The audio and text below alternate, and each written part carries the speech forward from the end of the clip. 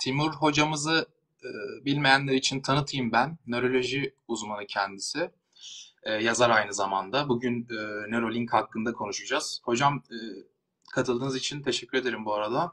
Daveti kırmadığınız için. Yok çok heyecanlıyım. Çok hızlı gelişti. Evet. Ya sabah çok ilginç. Şöyle düşün yani sabah bir kalktım ben ve e, o, o haber geldi. Çok uzun zamandır takip ettiğim bir teknoloji. Beni çok heyecanlandırıyor, çok korkutuyor. Ee, hekim kimliğim diyor ki aman Allah'ım artık bu teknolojiyle hani bacağını kolunu oynatamayan, dilini oynatamayan nice hasta artık belki de e, ne hayatlar yaşayacak. Öteki yanım diyor ki e, sağlıklı insan da isteyecek bu teknolojiyi. Hani böyle çok değişik bir konu başlığı. Soruları da merakla bekliyorum. Evet, sağlıklı insanlar isteyecek mi? Ben ondan şüpheliyim. Geçen bir yazı okudum işte sizle yayın yapmadan önce de bir araştırayım dedim. E, Türkler bu beyin çipi ne der diye bir konu başlığı gördüm. Onlar taktırırlar mı diye. Bir ön yargılı yaklaşabilir tabii kesimden kesime kültür farklılıklarından dolayı belki ama tabii e, konuşalım bunları da. E, ben birkaç soru aldım öncesinden. Arkadaşlar yayında da sorabilirsiniz. Hocamıza ben iletebilirim. Şu sağ altta yayın bölmesi var, e, soru bölmesi var. Oradan sorularınızı yazıp e, en çok beğeni alanları hocamıza iletebilirim.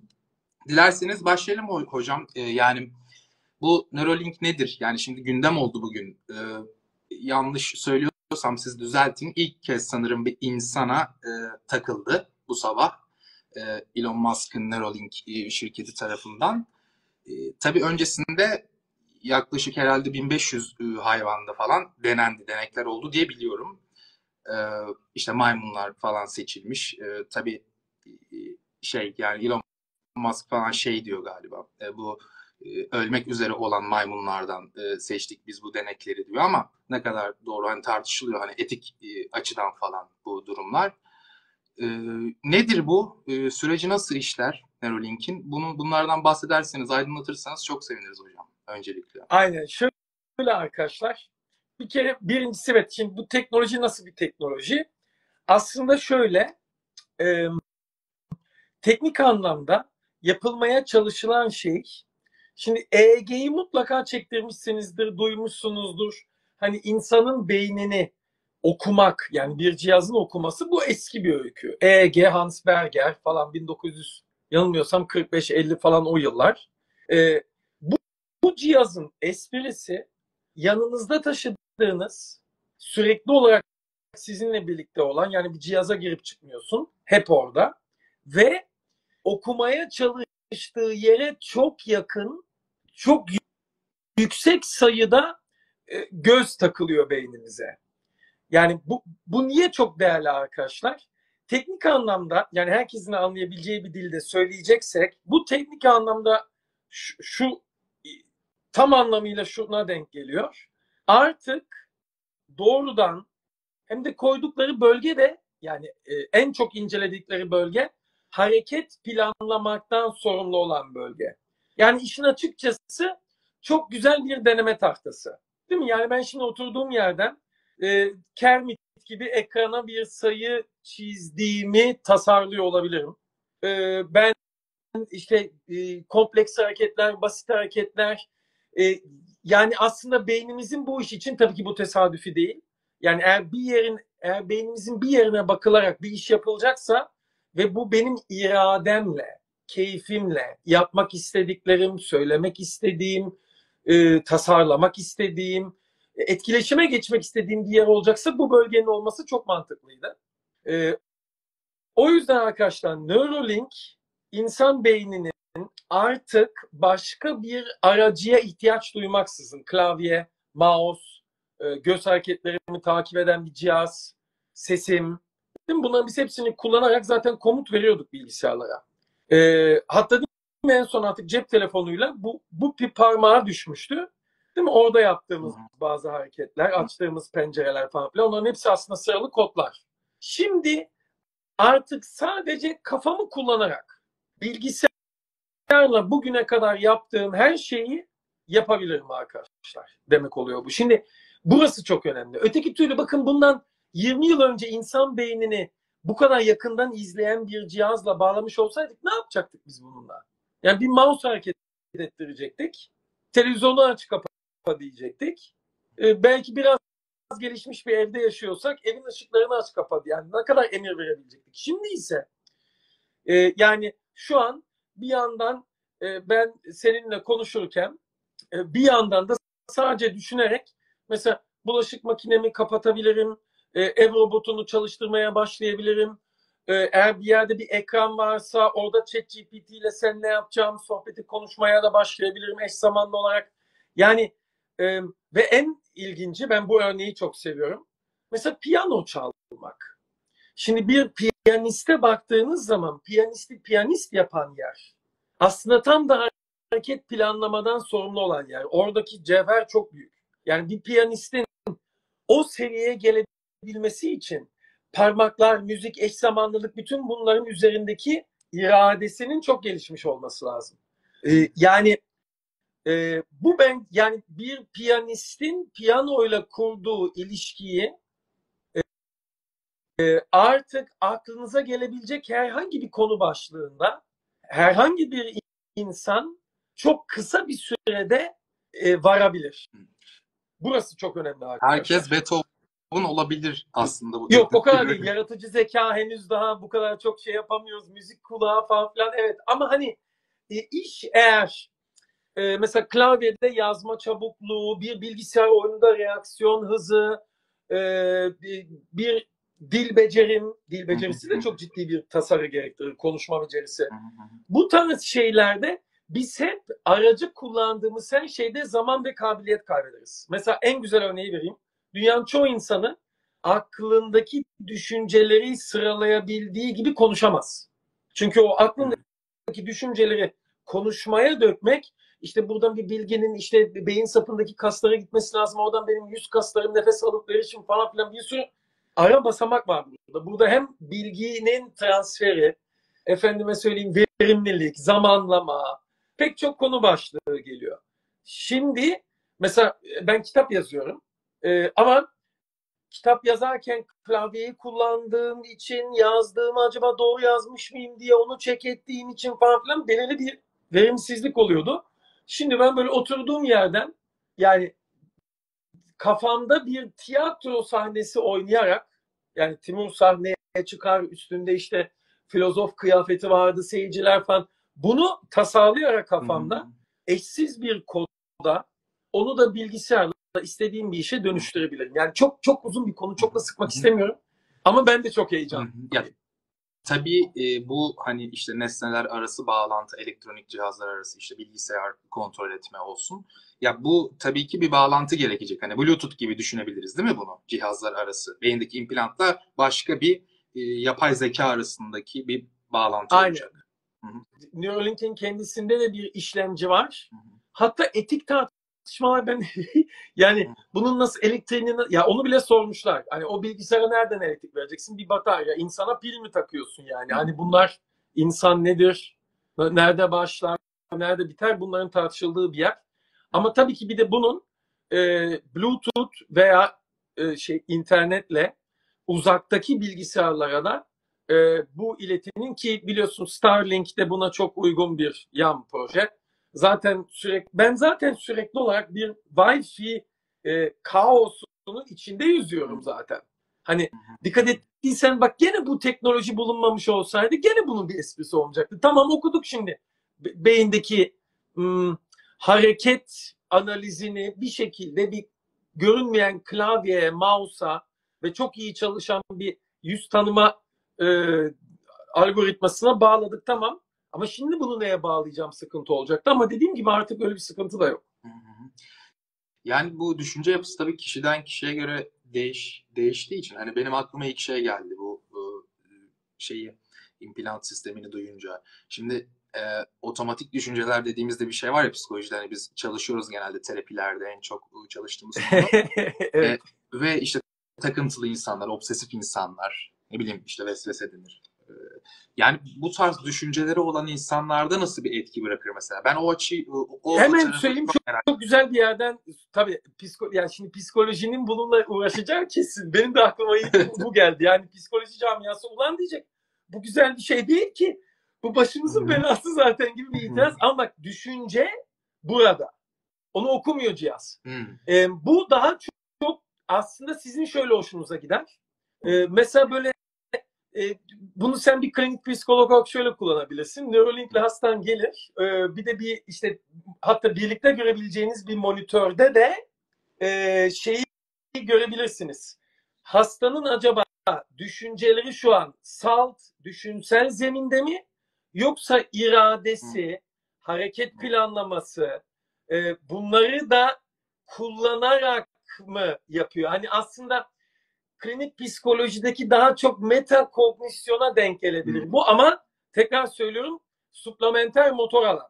Yani belki de e, şu an tamamen şey yapıyorum. E, beyin fırtınası yapıyorum ama belki de gelecek terapilerin bazılarına e, bu metot eklenecek. Yani kişiyle konuşmanızda düşünceleri üzerine e, hani e, sadece izlemesi değil onları yönlendirmek uğruna yaptığı planlama. E, ve hatta belki de monitöre bakınca diyeceksiniz ki bak şu an henüz daha planlaman çok az. Şimdi tıpkı bir hareketi tasarladığın gibi düşüncelerini de tasarlaman lazım. Mesela ne bileyim bilişsel çarpıtma. Hani zaten ben e, zaten kimse beni sevmez. E, orada pek bir hareket Neuralink orada çok pasifize bir şeye bakacak. Bir saniye. Şimdi yeniden bu düşünceyi dili bir tasarla bakalım. E, ha e, burada aslında çok büyük bir genelleme var demeden hemen önce e, Neuralink'te bir şeyler gözükebilir. Hı hı hı hı. Ya çok heyecan Çok. verici gerçekten. Hani Freud olsa buna ne derdi merak ediyorum. Çünkü bilinci o katmanları hani Kim, bahsettiniz. Nereden geldi? Freud olsa diyorum buna ne derdi evet. merak edici e, bir konu.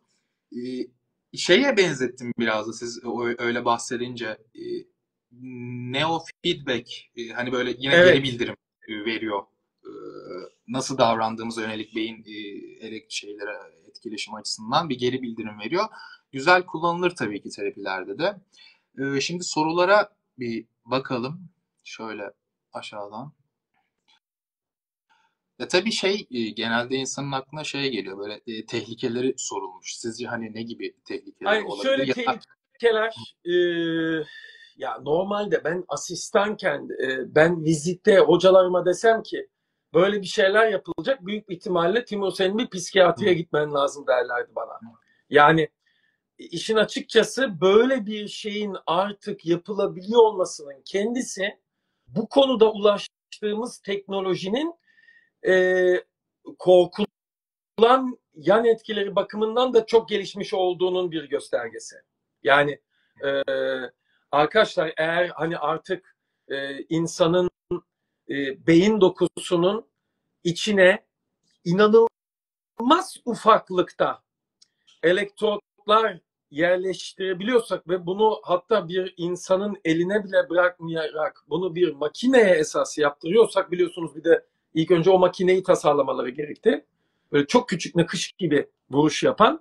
Ben işin açıkçası mesela bir boks maçında kafamıza aldığımız e, darbeyle kıyasla bu ameliyatın oluşturduğu mikro travmanın çok daha küçük olduğunu düşünüyorum. Yani siz sıradan bir futbol maçında arkadaşlarınızla birlikte hem de yani topa basıp yere düşmeler yok işte topa kafa atmalar falan yani e, e, bu tarz bir yan etkinin çok büyük konu başlığı olacağını düşünmüyorum. Hı hı. Onu söyleyeyim. Hı hı. Ee, ve bu aslında sevindirici. Yani yani bu, bu tıp anlamında inanılmaz bir şey. Ha ama tabii ki bir kere e, şöyle yan etkiler olur mu olmaz mı göreceğiz bunu. Mesela küçük vadede e, mesela o çipin yerleştirilmesiyle birlikte doku hasarı olabilir. Olabilir. Bu da muhtemelen en çok korkulan yan etki arkadaşlar kanamadır. Yani e, ama dediğim gibi elektrotların küçüklüğü hani bir kılcal damara denk gelseniz dahi oradaki kanama hani milisaniyeler içerisinde kanın zaten sizde bir kanama bozukluğu yoksa kapatabileceği bir ufaklıkta olacaktır. Ben hani böyle mekanik, korkunç, hani o evet aklımıza ilk gelen oha ya hani çüş artık falan o yan etkilerin çok görüleceğini düşünmüyorum. hı hı. Onu söyleyeyim. Hı. Ee, ama de- e, ha, bana soracak olursanız ben şey yan etkilerinden çok merak ediyorum. Mesela oradaki doku e, kullanıldıkça büyüyecek. E, o o büyüdüğü takdirde e, bu sefer insan beyni iki yönlü çalışır. Mesela acaba böyle bir şeyi taktıktan sonra e, büyük ihtimalle ellerimizi kullanarak gerçekten klavye kullanmakla ilgili bir tembellik, bir hani arabanın icadıyla nasıl göbeğimiz çıktıysa bu teknolojinin kolaylık ve artık başka türlü de e, bedenimizi ve bir araç olarak kullanmayacağımız için bu tarz yan etkileri, biraz daha uzun vadeli yan etkileri beni daha çok meraklandırıyor. Onu söyleyeyim. Hı hı hı. Şimdi bir arkadaşımız telepatik iletişim mümkün olabilir mi demiş de zaten bahsettiğimiz şey aslında bir nevi telepati yani yapay zeka ile iletişime geçiyoruz ve aynı zamanda şey tabii ki e, hani atıyorum siz taktınız ben taktım yine o iki cihaz arasında herhalde bir etkileşim olacak yani insanlar arasında da olacak diye düşünüyorum tahmin ediyorum. Dolayısıyla O Neuralink sizin- 2. efendim Neuralink 2 o. yani Neuralink 1 iki, ha, buydu. iki, Neuralink tabii, tabii. 2. Tabii o İlerleyen iPhone 1, iPhone versiyon. 2. Yani Aynen. Yani şimdi işte hocamızın aklından işte herhangi bir yemek geçiyor diyelim. Ben onu herhalde telepatik olarak algılayacağım. İşte yemek e, düşünürken hocamızın beyninde hangi bölge aktifse herhalde onu direkt okuyacak. Bana onun sinyalini gönderecek. Öyle mi hocam? Yoksa ben mi yanlış bu, düşünüyorum? bu olabilir. Beyin makine beyin arayüzü bu. Ama şimdi Neuralink üzerinden gidecek olursak tekrar söylüyorum. Neuralink'in bende erişime sahip olduğu esas beyin bölgesi şöyle düşünün hepimizin kafasında beyaz bir tahta var ve biz bir şey yapacağımız zaman onu oraya çizerek yapıyoruz arkadaşlar. Çok basit bir dille. Mesela hareket edeceğim, elimi kullanacağım ya da konuşacağım. Ve orada bir planlama, bir planlama var. Hani e, salt yüzde yüz böyle saf bir şekilde düşüncenin okunması henüz daha bu e, şey değil. Mevzu bahis değil henüz. Ama şöyle olabilir. Ben Neuralink'imden e, ne haber nasılsın dediğimi tasarlıyorum. Bak sadece düşünmekle kalmıyorum. Hani ne haber nasılsını e, işte çıkarttığım sesle hani bir orada bir tasarım yapmam lazım arkadaşlar. Yani şöyle düşünün. Mesela şimdi kolumu hareket ettirmeyi düşünüyorum başka bir şey. Bir de kolumu hareket ettirme niyetini, intention'ını tasarladığım yer başka bir yer. Bu yani e, o yüzden şöyle olacak ama büyük bir ihtimalle. E, ben bilgisayara ileteceğim. Ama işte artık bilgisayardan doğrudan senin zihnine iletilmesi bu henüz daha şimdiki Neuralink, Neuralink projesinde en azından bizlerle paylaştıkları bir basamak değil. Ama şunu söyleyeyim. Hayvan deneylerinde oradalar. Hı. Yani o da Peki- böyle birkaç yıl geriden gelen bir proje. Siz bir nörolog olarak hani şimdi işte iki dediniz ya işte sistem geliştikçe daha çok e, işlevi olacak bu cihazların. Belki de olmayacak bilemiyoruz biz fikir yürütüyoruz sadece. E, varsayalım ki oldu diyelim hani bu tarz gelişmeler işte iki insan telekinetik açıdan anlaşmaya başladı falan. Bunun böyle öngördüğünüz e, herhangi bir yıl var mı işte 50 yılda Ha- olur ya da 100 yıl. Hay hay 50 yıl falan değil arkadaşlar. Şöyle söyleyeyim. Ben eğer çok absürt bir şekilde hani biliyorsunuz bizim türümüz çok absürt bir şekilde bazen böyle kafayı gezegen halinde yiyip işte böyle ne bileyim kitlesel savaşlar ne bileyim kütüphane yakmalar İskenderiye falan hani e, çok ab- gezegeni havaya uçurma buzulma yani çok absürt bir şey olmadığı takdirde Şimdi hem Neuralink gibi teknolojilerde çok hızlı bir patlama, buna eşlik eden akıllı ve öğrenen algoritmalar, hele bir de kuantum işlemcili bilgisayarlarla birlikte şu an aklımızın alamayacağı bir bilgi işlem kapasitesiyle insan zihninin birleşmesi ve ondan sonra bir de bu birleşimin bulutla ve buluttan sonra belki tekrar yeniden bir insan kafasıyla eskiden bilgisayarları birbirine bağladığımız şekilde beyinlerimizi bağlamanın böyle bir 30 yıl kadar falan süreceğini düşünüyorum arkadaşlar. Çok hatta mu Çok kısa. yasası var burada. Yani e, ama hani bu böyle çok uzak bir gelecek değil. E, Hı hı. kaldı ki bu şey gibi düşünün arkadaşlar. Şimdi ilk bilgisayarın ortaya çıktığını düşünün. Hı hı. E, ya da ilk cep telefonunu hatırlayın. Benim mesela ilk cep telefonumu aldığımda ben 20 yaşındaydım. Şimdi 43 yaşındayım. Aradan 23 yıl geçmiş. Bu 23 yılda cep telefonumun başına gelenler, onunla yapabildiklerim, içindekiler, dışındakiler, hem hardware'i hem software'i hem de bulutla olan ilişkisi hem de beni ne kadar takip ettiği ve benimle kurduğu ilişki bakımından bu 23 yılda ne kadar değişiklik olduysa mesela buna X diyelim. Bu önümüzdeki 23 yılda çok büyük bir ihtimalle bunun karesi kadar Hmm. büyük bir değişiklik olacak. Hani tabii Mur yasası artık sekteye uğradı ama o yüzden ben bu tarz şeylerin biraz yakın olduğunu düşünüyorum. Bir de bakın hep şunu düşünmekte fayda var. Yani bu te- teknolojileri geliştiren insanların da hayatlarında hani mesela Elon Musk'ın şu an tek önem verdiği kaynak nedir sizce? Yerine koyamadığı zaman. Yani Elon Musk'ın da derdi zaten bunu görmek. Hani e, e, yani bu teknolojilere milyarlarca dolar yatırım yapan insanların zaten bir kaynak sorunu, bir geçim derdi, bir bilme ya bu tarz böyle bir zümreden bahsediyoruz ve bu insanların hepsi de kendi hayatları ve kendi zamanlarıyla yarış halindeler. O zaten her şey çok hızlandı. Ee, kaldı ki arkadaşlar, burası önemli. Ee, şimdi bakın, Neuralink beyin makine arayüzünün en re, refiniye, en böyle inanılmaz hali. Bunu mesela ilk yapan adam Miguel Nicolesis. Onun beyin makine arayüzü işte Brezilya FIFA Dünya Kupası'nın açılışı için hazırlandı bu teknoloji amaçları. Hatta şimdi Neuralink için aynı laf söyleniyor. Amaçları işte bacaklarını oynatamayan bir para atletin Hmm. FIFA vuruşunu yapmasıydı. Hatta topa vurduğunda hissetti. Ters teknolojiyi de yaptılar ama milyonlarca dolar. Hatta hükümet ciddi soruşturma yemişti. Yani bu kadar parayı neye harcadınız siz falan gibi. Ee, eğer Brezilya FIFA Dünya Kupası açılış vuruşu diye yazarsanız YouTube'a Neuralink'in atası orada. Ee, bu niye çok önemli arkadaşlar? O bir, kaç yılında olmuştu? Ben e, hiç bilmem böyle şeyleri ezberim de çok iyi değil ama e, yani e, yani diyelim ki 10 yıl 15 yıl oldu. Oradaki makineye bakın o hantallığına o şeyine şimdi artık bakın o bu hale geldi.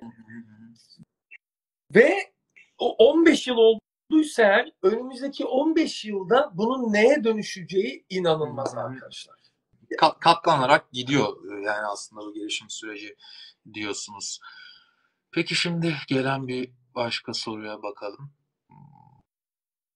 Bugün hani e, bugün sanırım bir implant ilk insana e, insana ilk olarak bir implant takıldı. Hani bunun e, temel amacı e, soruluyor tabii. Hani felçli kişiler öncelik mi? Görme engelli kişiler öncelik mi? Bu ilk implant nasıl bir kişiye yapıldı? Bu, bu bunun bilgisi Ay, var mı çok- bizde hocam? büyük ihtimalle arkadaşlar tedavisi başka türlü mümkün olmayan ki dediğim gibi şimdi o kocaman makineyle bir insanı yürüttüyseniz eğer şimdi o kocaman makinenin diğer kısımları aynı kalacak ama o makineyi küçülttünüz çok büyük ihtimalle arkadaşlar işte gene uzuvlarını hareket ettirme, konuşamama, locked in sendromu. Bakın şimdi yani bizim için burada konuşması kolay. Yani öyle ponsunuzda küçücük bir kanama geçirdiğiniz için e, Hatta geçenlerde bununla ilgili bir film vardı Netflix'te. Gene moda oldu bu. Belki de bu da e, pla- planın bir parçasıdır. Yani yapabildiğiniz tek şey vücudunuzda gözleri kırpmak. Ama çünkü sıkıntı burada. Ama bakın dikkat ettiyseniz burası sağlam. Hareketi planlamaktan olan kısım sağlam. Yani aslında beyniniz bu daha zor olanı. Beyniniz aslında komutu oluşturuyor. Siz ama artık bu komutu omurilik üzerinden etrafa veremiyorsunuz. Ve yapabildiğiniz tek şey yatağın içerisinde böyle böyle yapmak. Stephen Hawking'in çok ilerlemiş ALS'si gibi. Tek fark bu bir saniyede başınıza gelebilecek bir şey. Öyle 10 yılda değil. E şimdi bu kişiye böyle bir implant taktığınız için bu kişi bizim burada konuştuğumuz gibi hatta konuşabilir. Yani bir makineye konuşturtabilir kendini. Konuşmayı tasarlar. Merhaba nasılsın? Ve öyle bir hatırlayın Stephen Hawking'de çok ciddi bir zaman kaybı vardı, delay vardı. Bir şey oyuncu gamerlar iyi anlar bizi. Yani insanın çok canını sıkan bir şeydir bu delay. Onun anında gerçekleştiğini düşünün, kitabını yazdığını düşünün, mouse'u hareket ettirdiğini, e, internete bağlanabildiğini, e, ChatGPT ile hiçbirimizin duymadığı bir sohbeti yapıp oradan Nobel ödülü kazandığını falan yani tabii ki bu insanlar için çok önemli. Hemen hemen aklınıza gelebilecek pek çok yaygın teknolojinin ilk gelişim amacı genellikle daha spesifik bir engelin aşılması içindir. Mesela değil mi? CERN interneti niye yapmıştı? E çünkü kuantum gibi bir şeyde ilerlemek istiyorsanız dünyada bu konuyla ilgilenen bütün fizikçilerin eş zamanlı olarak hep birlikte bizim şu an seninle yaptığımız gibi konuşabiliyor olmaları lazımdı. Hani ilk önce o spesifik yetersizliğin aşılması için. Ama sonra çok daha yaygın ve herkes görme engelinde hayır. Burada şu karıştırılmasın arkadaşlar. Şimdi görmüyorsanız eğer görmüyorsanız eğer bu işlemin tersine çevrilmesi için tıpkı Brainport teknolojisi gibi size de bir yerden input olması lazım. Hatırlatırım Neuralink şimdilik sadece beyindeki bir sinyali alıp bunu makineye veren bir şey. Ee, kör bir insanın görme duyusu için de elimizde hali hazırda çok güzel teknolojiler var. E, bu soruyu kim sorduysa lütfen Brainport, Brain Beyin Port kapı, Brainport teknolojisi de yazsın. E, hatta o da inanılmaz hantal değil şu an. Bütün körler için uygun değil. Yani beyin bölgenizin sağlam olması, aradaki liflerin sağlam olması, retinada bir sorunun olması lazım. Ya da göz kürenizin e, ya i, i, input kısmında bir sıkıntı olması lazım. Çünkü o input'u o cihaz bypass ediyor dil üzerinden.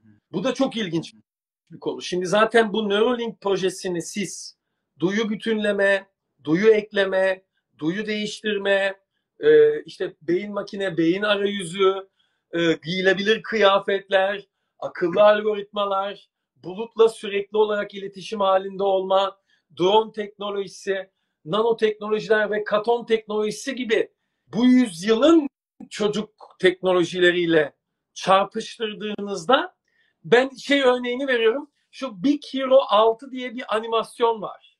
Ee, ben çocuklarımla e, izliyor. İnanılmaz bir şey. Onda böyle bir kask takıp akıllı maddeye şekil veren bir villain vardı. Şimdi o adamın o kaskı takmasına gerek yok. Çip yeter. Yani o beyin kapalı bir kutu diyorsunuz. Önem, önemli olan dışarıdan alınan bilgileri o içeriye iletmek. Beynin bunu nasıl yorumladığı. O e, duyu duyu e, değişiminden, duyu değişimi mi dediniz? Ondan bahsettiniz. Galiba e, şey onu birazcık açıklıyordu. David Eagles evet. miydi? Ve Sır... teknolojisi. Evet evet. Aynen. Yani vücuda e, söylediği seslerin e, şeyini e, vücuda veriyor titreşim olarak etkisini. O titreşimden ne söylediğini algılıyor değil mi? Kişi anlıyor. Yani sağır bir Hı-hı. insan artık kulağı açıldı. Hı-hı. Bunun bu evet, o çok güzel bir örnek. Şimdi o teknolojiyle bunu birleştirin. Yani. Yani ben bir yelek giyerek bilgisayardan bir komutu anlayabiliyorsam, e, idrakım ve planlamamla da bir kodu bilgisayara verebiliyorsam arkadaşlar bu Matrix'teki kadar sert, analog ve haşin gözükmüyor olabilir ama teknik anlamda bir işte beyin bilgisayar birleşiminden bahsediyoruz. Türkçe'de böyle kullanılıyor bazen bu. Beyin bilgisayar birleşimi 3B gibi. Yalnız dediğim gibi Neuralink tek başına bunu gerçekleştirmeye yetmiyor. O David Eagleman'ın teknolojisi gibi bir teknolojiyle bunun birleştirilmesi lazım ve Neuralink'i yapabildiğimiz bir çağda bu teknolojileri birleştirmek çocuk oyuncağı arkadaşlar. Esas önemli olan gerçekten o küçücük implantları tık tık tık tık tık beyin dokusuna çok yakın yerleştirebilmek. Bundan sonra zaten bu doku görme merkezine de iletilir. Böylelikle siz komuta merkezinde askerlerinizin ne gördüğünü doğrudan görürsünüz. Ya benim merak ettiğim şey hocam, e, yani bu son nokta herhalde. E, insanın sahip olmadığı frekanstaki özellikleri algılamak. Yani ekstra farklı bir duyu, duyu yaratmak. Bu mümkün mü? Yani mümkün. Yapıl yapıldı e, e, arkadaşlar yapı işte West teknolojisiyle David Eagleman kendi o eş zamanlı Twitter'dan o zaman Twitter'dı ismi. E, Elon Musk kızmasın. David Eagleman o TED konuşmasını yaparken adam e, West teknolojisini şeye bağlamış. Kendi e, Twitter hesabına bağlamış ve TED konuşması aynı zamanda da orada canlı yayında veriliyormuş. Adam çıkartıyor tişörtünü ve diyor ki ben şu an bu teknoloji sayesinde e, benim konuşmama Twitter'dan beğeni ya da yorum geldiğinde bunun bilgisini alıyorum diyor. Normal zaman. Normalde bak insan normalde bizim böyle bir pluginimiz yok. Normalde insan beyni cep telefonundaki bir uygulama ve internetteki bir serverda olan hesabının e, videosunun ne kadar beğenilip beğenmediğine dair ben doğrudan beynime bir cilt üzerinden e, input almıyorum normalde. Bak eklendi. Çok muazzam. O Evet. yüzden evet. e, Ama ben- hele bir de pardon, Pardon. Sözünüzü yani kessin hocam. He- hele bir de mesela e, mesela kızıl ötesini görmüyoruz biz normalde. Kızıl ötesini gören bir cihaz ile bu bilgi artık dijital bir bilgiye çevrildiğinde bana iletilebilir. Ama tekrar söylüyorum Neuralink'in esas esprisi e, kafamızda tasarladığımız komutları çok detaylı, yakından, spesifik, hızlı e, bir erişimle okunabiliyor olması. Yani şöyle söyleyeyim teknik anlamda kafamızda tasarladıklarımızı çok iyi dinleyen makineye sahibiz denebilir. Ha bunu artık nasıl kullanırsanız.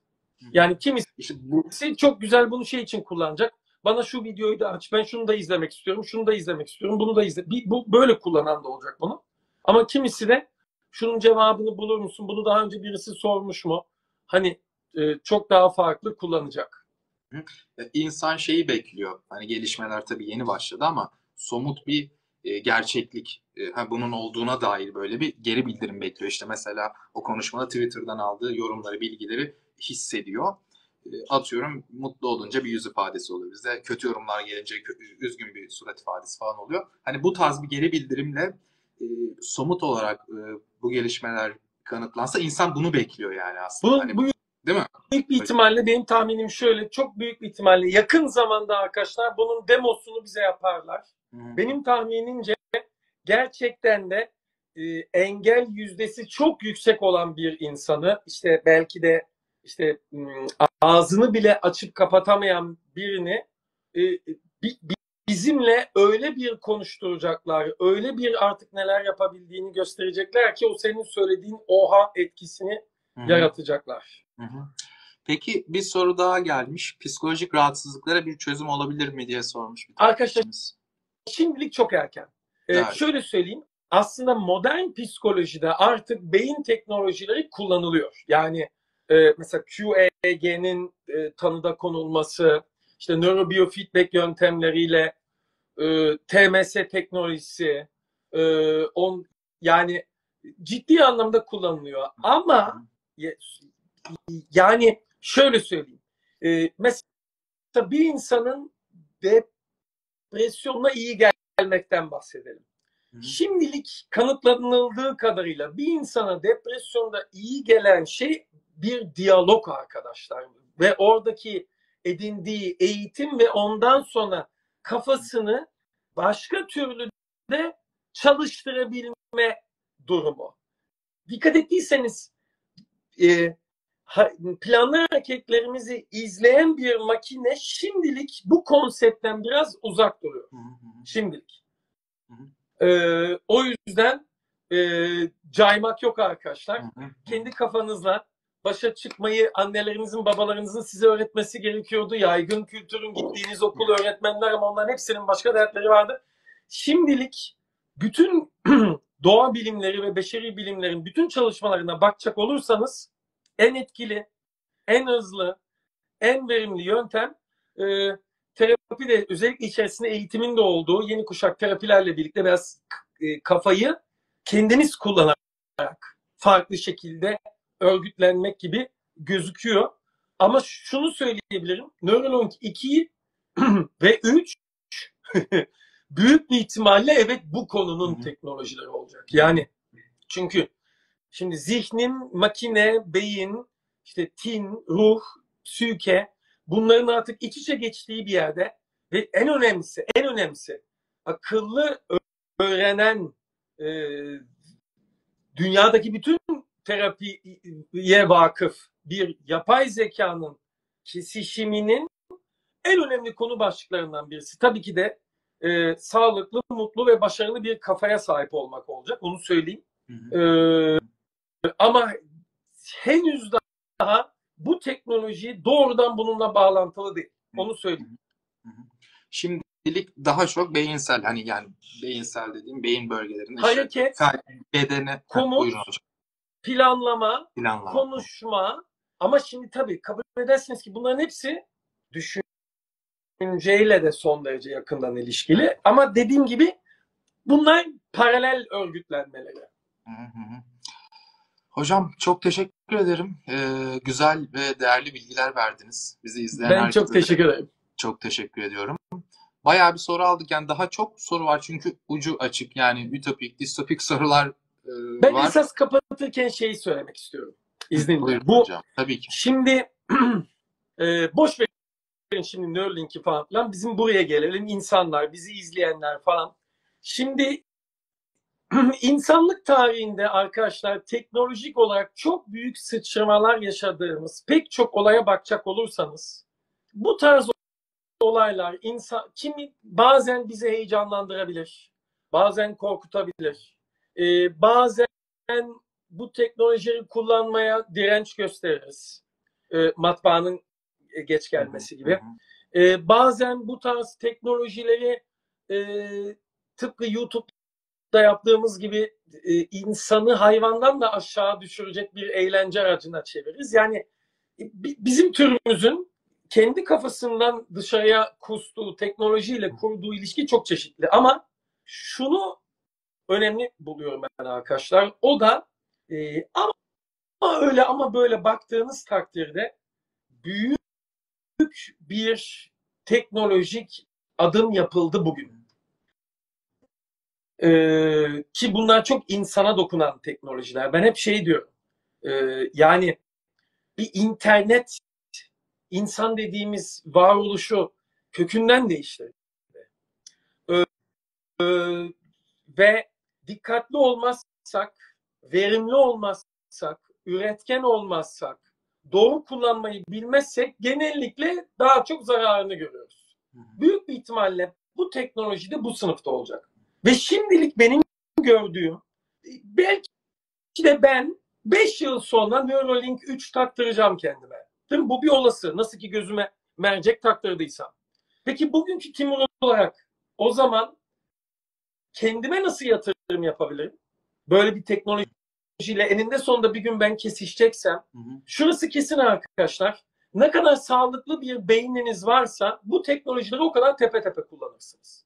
Yani eğer benim beynimin damarları tıkalı, ka- kolesterol, tansiyon, işte ne bileyim e, yediğim yemekler yüzünden e, ağır metal binmeleri olmuş, izlediğim şeyler yüzünden ufalmaya başlamışsa benim teknolojiyle kesişimim e, daha tatsız olacak. Aynısı insanın psikolojisi için de geçerli. Yani beynin çıktısı için. Eğer çok kabaca söylemek gerekirse eğer böyle şimdi kaygı, endişe bozukluğu, depresyon, takıntılar, mutsuzluk, keyifsizlik, duygusal zekada düşüklük falan ne kadar yani makineyle el sıkıştığınız gün e, beyin ve zihin yatırımınız ne kadar iyiyse siz o kadar iyi bir yerden başlarsınız.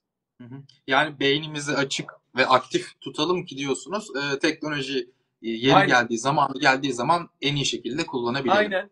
Hı hı hı. Umudunuzu kaybetmeyin hastalar. Ben bak 10 yıldır bana gelen felçli falan danışanlarıma hep bunu anlatmaya çalıştım ben. Bak şu an senin için inanması çok zor. Ama belki de 10 yıla inanılmaz bir teknoloji çıkacak. Ama işte o teknoloji çıktığında sen eğer kolunu falan hiç oynatmadığın için eklemlerin sertleşmiş, beyninin onunla ilgili kısmı şu an zaten şeyin takıldığı yer. Orası Hı. ufalmış ve küçülmüşse işin daha zor. O yüzden fizik tedavini yapmaya devam et diyordum.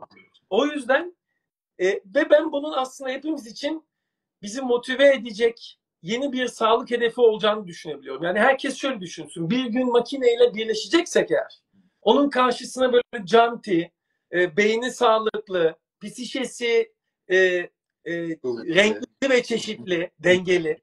Ondan sonra cıma e, iradesi, dikkati. Şimdi dikkat dağınıklığınız varsa bu cihazı kullanma verimliliğiniz düşer. Çünkü bu sefer tam da be- makineyle konuşurken bir tasarı yapacaksın orada. Dikkatin bir dağılacak. O iş orada yarım kaldı gibi. Lütfen kendinize yatırım yapın. Umutlu olun. Yeni bir çağ başlıyor. David Eagleman'ın Beyin kitabının son paragrafıyla bitireyim ben. O bunu öngörmüş arkadaşlar tabii. Ben aslında onlar şimdi kendi aralarında neyi tartışıyorlar ben onu çakozlamaya çalışıyorum. Muhtemelen singularity ve e, dijital ölümsüzlüğü daha çok tartışıyorlar. Benim düşün yani çünkü Elon Musk'ın derdi odur arkadaşlar. Elon Musk'ın derdi yani bunlar değil. Yani o tekno düşünsenize bilmem kaç yaşına gelmişsin elinde sonsuz imkan var ve aklını dijitalleştirmenin eşiğindeysen eğer iteklersin. Yani. Firavun gibi çölün ortasına piramit yapacak değilsin. Kitabın sonunda şöyle diyordu David Eagleman. Beyin senin öykün. Herkese tavsiye ederim. Ee, kaderimizi elimize alacak teknolojileri bulmanın eşiğindeyiz. Bu yüzyılda bu yüzyılda Yunan mitolojisindeki tanrılara dönüşmemiz bir an meselesi. Ha neye dönüşeceğimiz ise bizim tercihlerimize bağlı diyor. Yani çok güzel Çok toplamış güzel, hepsini. Hı.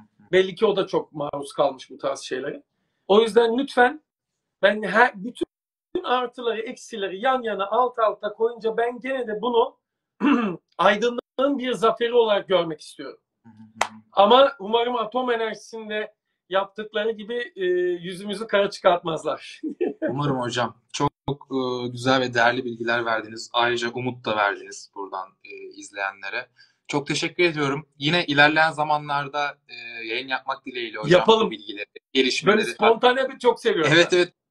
Güzel oldu. Ani bir sabahki gelişme sonra ardından sizle konuşma yayın. Çok güzel oldu. Eşlik eden herkese de teşekkür ediyorum hocam. Size de çok Herkese iyi sağ olun. akşamlar. Görüşmek üzere. Görüşmek Bay bay. üzere. İyi geceler.